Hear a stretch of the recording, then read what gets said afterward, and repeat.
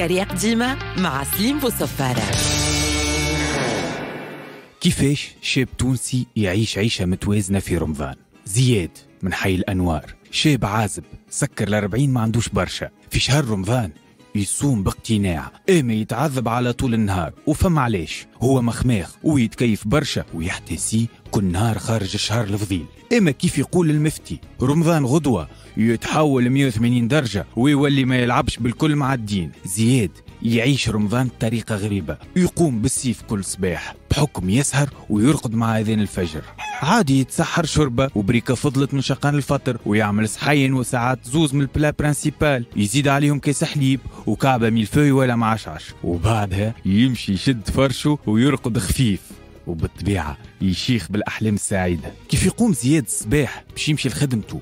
يبدأ في قمة النشاط. على حلة عينيه يقعد يثبت في الحيط نص ساعة وجهه منفوخ كيف الثور. السيد تقول 404 باشيه موتورها مزوط تحب لها باش تنده وتشد الكياس. زياد يشد كرسيه في الإدارة اللي هو فيها. يطيح الكرسي ويرخف له رواشكو ويرقد عويناته محلولين. وساعة ساعة يجيه مواطن ياخذ من عنده ريقة مطلب ولا اعتراف.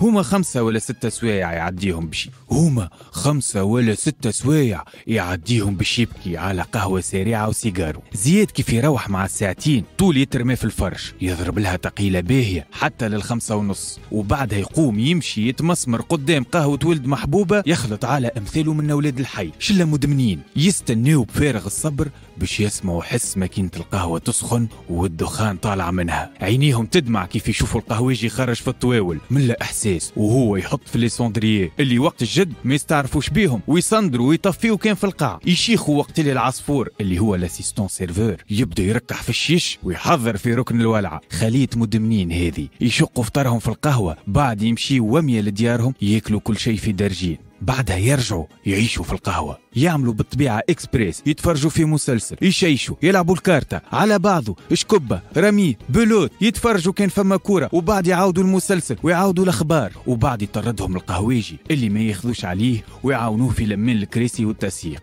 في الآخر سويعة قبل الفجر كل واحد يروح يشد داره ويتسحر لها ويرقد باش يقوم في فورمة من غدوة ويعاود لها نفس البرنامج.